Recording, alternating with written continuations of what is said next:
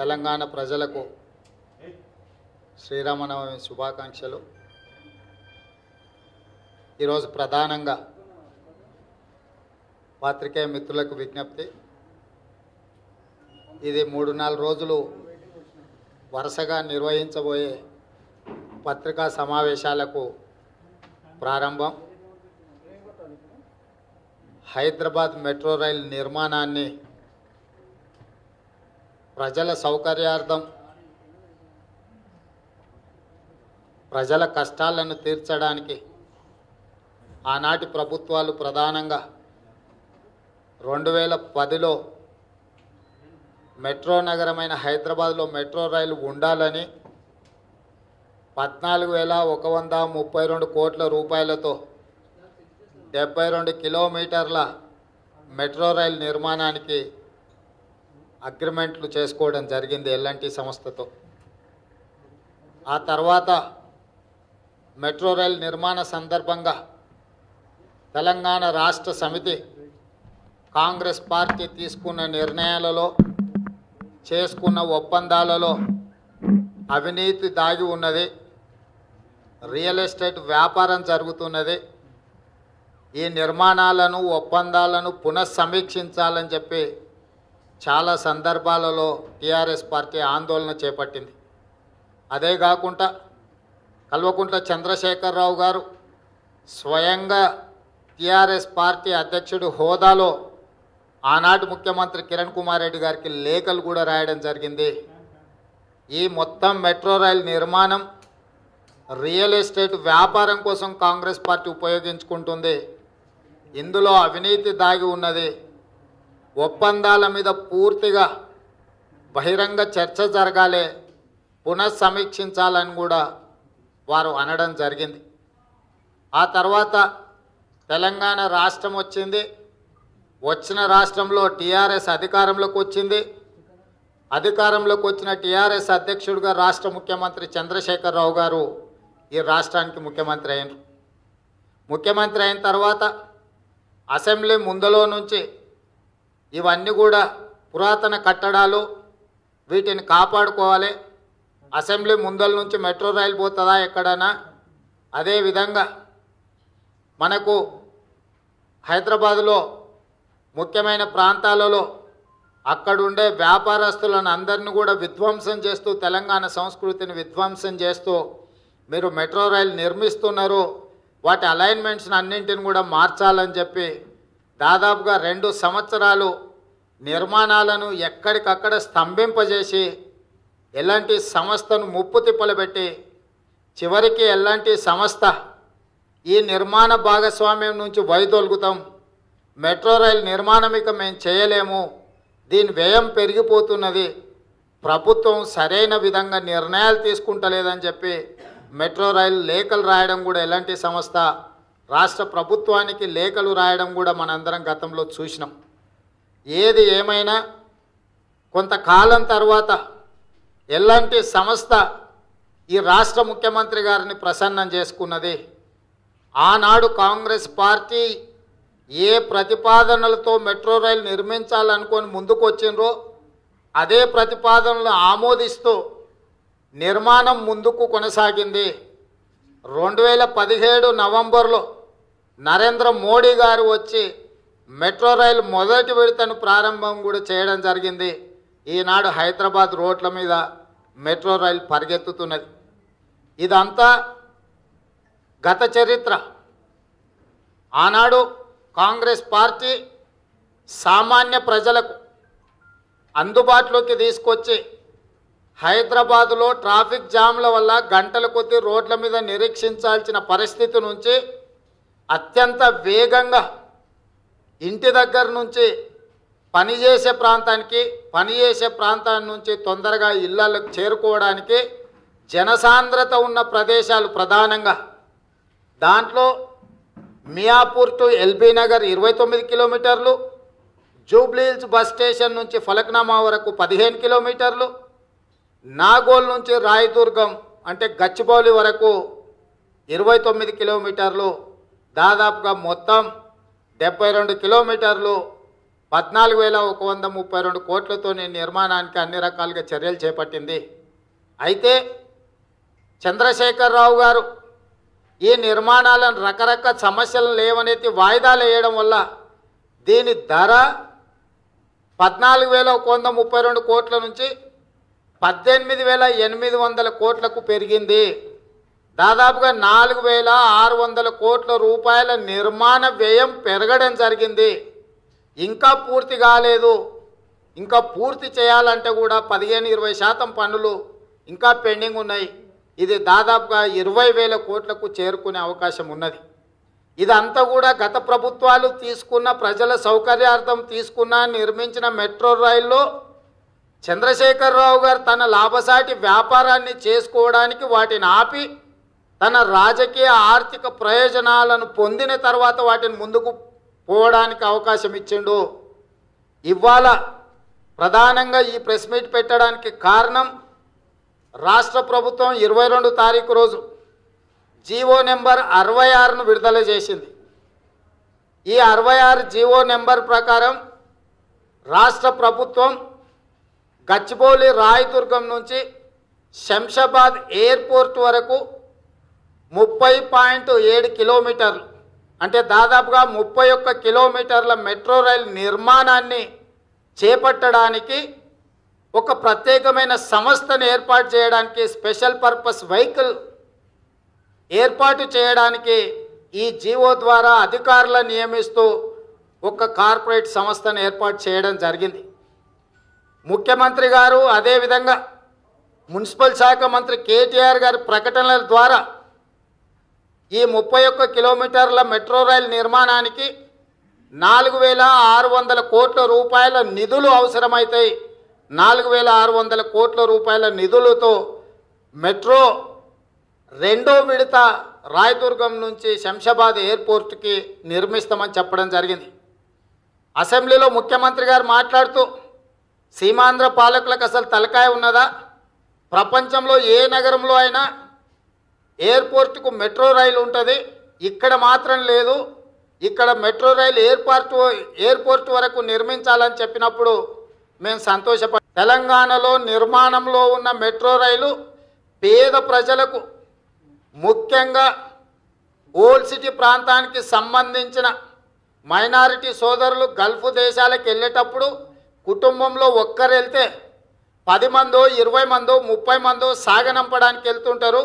అదేవిధంగా ఇతర రాష్ట్రాలకు సంబంధించిన వాళ్ళు ఇతర జిల్లాలకు సంబంధించిన వాళ్ళు తమ విదేశీ ప్రయాణాలకు కానీ లేకపోతే ఇతర రాష్ట్రాలకు వెళ్ళడానికి ఎయిర్పోర్టును విమానాశ్రయాన్ని ఉపయోగించుకునే ముందల వాళ్ళు వాళ్ళ కుటుంబ సభ్యులు అందరు వెళ్ళడానికి ఈ కార్లలోనో టాక్సీలలోనో వెళ్తే వాళ్ళకు చాలా భారం పడుతుంది కాబట్టి మెట్రో రైలు వస్తే వాళ్ళందరికీ కూడా సులభం అవుతుంది ఆర్థిక భారం తప్పుతుంది అని చెప్పి మేము అనుకున్నాం. కానీ మెట్రో రైల్ నిర్మాణం అనేదాన్ని కల్పవృక్షంగా తన ఆదాయ వనరుగా తన అవినీతికి తనలో ఉన్న ధన దాహాన్ని తీర్చుకోవడానికి మెట్రో రైల్ నిర్మాణాన్ని వాడుకుంటున్న సంగతిని ఈరోజు గమనించాల్సిన అవసరం ఉన్నది. ప్రధానంగా కల్వకుంట్ల చంద్రశేఖరరావు గారు కేటీఆర్ గారు ఏదైతే చెప్తున్నారో రాయదుర్గం నుంచి శంషాబాద్ విమానాశ్రయానికి మెట్రో రైల్ నిర్మాణం అనేదైతే ప్రజల సౌకర్యార్థం అని చెప్తున్నాడో అది పచ్చి అబద్ధము. తమ వ్యాపార సంస్థల విస్తరణ కోసం తమ బంధువులైన రామేశ్వరరావు గారు ప్రవీణ్ రావు గారు ఇతర బంధువులు మిత్రుల యొక్క వేల కోట్ల రూపాయల వ్యాపార ఆదాయాన్ని పెంచుకోవడానికి మెట్రో రైలు విస్తరణ అనే ముసుగు దొడిగినరు. ఇవాళ నేను ఒకటి రాష్ట్ర ప్రభుత్వాన్ని అడుగుతున్నా. దాదాపుగా ఇరవై వేల కోట్ల రూపాయలతోని డెబ్బై రెండు కిలోమీటర్లు మెట్రో రైలు నిర్మించిన ఎల్ఎన్టి సంస్థ రాయదుర్గం నుంచి అంతర్జాతీయ విమానాశ్రయం వరకు మెట్రో రైలు నేను నిర్మించను నాకు వద్దు. ఈ వ్యాపారం నేను చేయలేనని ఎందుకు వెనక్కి వెళ్ళిందో ప్రజలకు వివరించాల్సిన అవసరం ఉన్నది. ఈరోజు అదే వ్యాపారంలో ఇక్కడ కొనసాగుతున్న ఎల్లంటి సంస్థ ప్రపంచంలో పలు దేశాలలో టెండర్లేసి పనులు నిర్వహిస్తున్న సంస్థ లక్షల కోట్ల రూపాయల టర్నోవర్ ఉన్న సంస్థ. ఈరోజు తెలంగాణ రాష్ట్ర ప్రభుత్వం రాయదుర్గం నుంచి శంషాబాద్ అంతర్జాతీయ ఎయిర్పోర్ట్ వరకు ముప్పై ఒక్క కిలోమీటర్ల మెట్రో రైల్ నిర్మాణం మేము చేపట్టము మాకు వద్దు. ఇక్కడ మేము వ్యాపారం చేయలేము. రాష్ట్ర ప్రభుత్వం ఇష్టం ఉంటే చేసుకోండి అని చెప్పి ఎందుకు వెనక్కి తగ్గిందో రాష్ట్ర ప్రభుత్వం సమాధానం చెప్పాలి.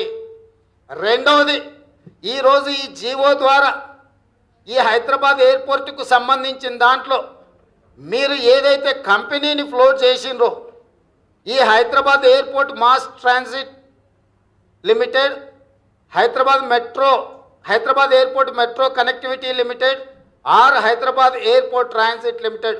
ఈ పేర్ల మీద ఏదో ఒక పేరు మీద ఈ వ్యాపారాన్ని కొనసాగిస్తామని చెప్పి HMDA Hyderabad metro development authority అదేవిధంగా రాష్ట్ర ప్రభుత్వం కలిసి నాలుగు వేల ఆరు వందల కోట్ల రూపాయలు బ్యాంకుల నుంచి అప్పు తెచ్చి ఆ మెట్రో రైలు నిర్మించాలని చెప్పి ఈరోజు నిర్ణయం తీసుకున్నది. దీని వెనకాల రాయదుర్గం నుంచి శంషాబాద్ వరకు మెట్రో రైలు రాష్ట్ర ప్రభుత్వమే ఒక సంస్థని ఏర్పాటు చేసి నిర్మించాలని ఏదైతే నిర్ణయం తీసుకున్నదో వాస్తవంగా గతంలో నిర్మించిన మెట్రో రైల్ ఒక కిలోమీటర్కు ఇప్పటి వరకు రెండు వందల యాభై ఎనిమిది కోట్ల రూపాయలు ఖర్చు అయింది ఒక్క కిలోమీటర్ నిర్మించడానికి. అది మొత్తం పూర్తయ్యే వరకు దాదాపుగా మెట్రో రైల్ నిర్మాణానికి ఒక కిలోమీటర్కు మూడు వందల కోట్ల రూపాయలు అవుద్ది. ఇవాళ చంద్రశేఖరరావు గారు ఇచ్చిన జీవోలో ముప్పై ఒక్క కిలోమీటర్లకు నాలుగు వేల ఆరు వందల కోట్ల రూపాయలు ఖర్చు అవుతున్నది అనేది అయితే చెప్తున్నారో ఆ లెక్కన నూట యాభై కోట్ల రూపాయలకు ఒక కిలోమీటర్ చొప్పున మెట్రో రైలు నిర్మించవచ్చు. మరి రెండు వేల పదిలో మొదలైన రెండు వేల పదిహేడులో పూర్తయినప్పుడు రెండు వందల యాభై ఎనిమిది కోట్ల రూపాయలతో ఒక కిలోమీటర్ నిర్మాణం జరిగినప్పుడు ఆనాడు స్టీల్ ధర సిమెంట్ ధర ఇతర నిర్మాణ వ్యయం తక్కువ ఉండే. ఈనాడు స్టీలు సిమెంట్ ఇతర నిర్మాణ వ్యయం పెరిగిన తరువాత కిలోమీటర్ నూట యాభై కోట్లకే ఎట్లా నిర్మాణం జరుగుతుందో ప్రజలకు చెప్పాలి. అంటే ముఖ్యమంత్రి గారు నిర్మాణ ఖర్చును మొదట్లో తక్కువ చూపించి పనులు మొదలైనాక పెంచుకుంటూ వెళ్ళి ఇవాళ రాయదుర్గం నుంచి శంషాబాద్ ఎయిర్పోర్ట్ వరకు ముప్పై ఒక్క కిలోమీటర్ల మెట్రో రైలును నిర్మించాలంటే దాదాపుగా తొమ్మిది వేల నుంచి పదివేల కోట్ల రూపాయల ఖర్చు అవుతుంది కానీ అంత ఖర్చు పెట్టి నిర్మిస్తే ప్రజలు ప్రశ్నిస్తారన్న పేరుతో ఈ రాష్ట్ర మంత్రి ముఖ్యమంత్రి ఇద్దరు కలిసి దాన్ని సగంలోనే నిర్మిస్తామని సగతర నాలుగు వేల ఆరు వందల యాభై కోట్ల రూపాయలను మాత్రం ప్రకటన చేస్తుండ్రు. ఇవాళ నిర్మాణ వ్యయాన్ని తక్కువ చేసి చూపించి పనులు ప్రారంభించిన తర్వాత తను పెంచి ఆ ధరల ప్రకారం రాష్ట్ర ప్రభుత్వం బ్యాంకులలో రుణాలు తీసుకొచ్చి ఈ రుణాల ద్వారా మెట్రో రైలు నిర్మాణం చేసి ప్రజల నెత్తిన రుణభారం పెడుతున్నారు. రెండవది ఇది అత్యంత కీలకమైనది. మెట్రో రైలు అనేది ఎప్పుడు కూడా పబ్లిక్ ట్రాన్స్పోర్టేషన్ చాలామంది ప్రయాణం చేయడానికి నిర్మించేది. రాయదుర్గం అంటే జూబ్లీ హిల్స్ బంజారా హిల్స్ మాదాపూర్ దగ్గర ఉండేది. ఆ ప్రాంతంలో నివసించే ప్రతి ఒక్కరూ ఔటర్ రింగ్ రోడ్డు ద్వారా ఎయిర్పోర్ట్కి వెళ్ళడానికి ఇంటికి నాలుగు కార్లు ఉన్న ప్రాంతము. ఇంటికి నాలుగు కార్లు ఉన్న ప్రాంతంలో ఈరోజు నువ్వు మెట్రో రైలు పొడిగింపు గురించి మాట్లాడుతున్నావు. వాస్తవంగా దీని వెనకాల శంషాబాద్లో మైహోం రామేశ్వరరావు గారు ఐదు వేల ఎకరాల భూమి కొన్నాడు. ఈ ఐదు వేల ఎకరాల భూమిలో రియల్ ఎస్టేట్ విలువ ఈనాడు ఎకరా కోటి రూపాయల లెక్కన లెక్కేసిన ఐదు వేల కోట్ల రూపాయల విలువ ఉంది. ఈ మెట్రో రైలు అక్కడి వరకు వస్తే ఎయిర్పోర్ట్ ముసుగులో రామేశ్వరరావు గారి వెంచర్ వరకు మెట్రో రైలు నిర్మిస్తే ఎకరా ఐదు కోట్లు కనీసం పలుకుతుంది అంటే ఐదు వేల కోట్ల రూపాయలు ఉన్న భూమి విలువ ఇరవై ఐదు వేల కోట్ల రూపాయలకు పెంచ రాష్ట్ర ప్రభుత్వము బ్యాంకుల ద్వారా రుణాలు తెచ్చి పదివేల కోట్ల రూపాయల రుణాన్ని ప్రజల నెత్తి మీద రుద్ది రామేశ్వరరావు గారి యొక్క శంషాబాద్లో కొన్న ఐదు వేల ఎకరాల భూమిని ధరలు పెంచడానికి అలా రాయదుర్గం నుంచి అక్కడికి మెట్రో రైలు నిర్మించడానికి ప్రభుత్వం పన్నాగాలు పన్నుతుంది. ఇదే కాదు అక్కడి నుంచి వచ్చేటప్పుడు రాజేంద్ర నగర్ దగ్గర ప్రవీణ్ రావు గారు అని కేసీఆర్ గారి యొక్క చిన్నమ్మ కొడుకు భూములు కొన్నాడు. ఉప్పాలగూడలో రామేశ్వరరావు గారు దాదాపుగా యాభై లక్షల స్క్వేర్ ఫీట్ అపార్ట్మెంట్లు నిర్మిస్తున్నాడు. అక్కడి నుంచి రాయదుర్గంకి వస్తే మై హోమ్ పూజా పేరు మీద ఇంకొక యాభై లక్షల స్క్వేర్ ఫీటు అపార్ట్మెంట్ల నిర్మాణం జరుగుతుంది. ఇంకా మధ్యలో అవుటర్ రింగ్ రోడ్ అంచుపోతే కేటీఆర్ గారి దగ్గరి బంధువులు కేటీఆర్ గారి మిత్రులు వందల ఎకరాల భూములు కొన్నారు నిన్నమన్నా ఈ వందల ఎకరాల భూములు మీకు గచ్చిబౌలిలో హైటెక్ సిటీ పక్కన అపార్ట్మెంట్ కొంటే ఇవాళ మూడు నాలుగు కోట్లు అవుతుంది ఇండిపెండెంట్ ఇల్లు కొంటే ఐదు నుంచి పది కోట్లు అవుతుంది కానీ అదే మెట్రో రైలు రాయదుర్గం నుంచి శంషాబాద్కు తీసుకెళ్తే పది నిమిషాలలో శంషాబాద్ రామేశ్వరరావు గారి వెంచర్ నుంచి రాయదుర్గకు రావచ్చు. అంటే ఇవాళ అక్కడ ఐదు వేల ఎకరాలలో గేటెడ్ కమ్యూనిటీ నిర్మించడానికి రామేశ్వరరావు గారు పూర్తి స్థాయిలో సన్నాహాలు ప్రారంభించిండు.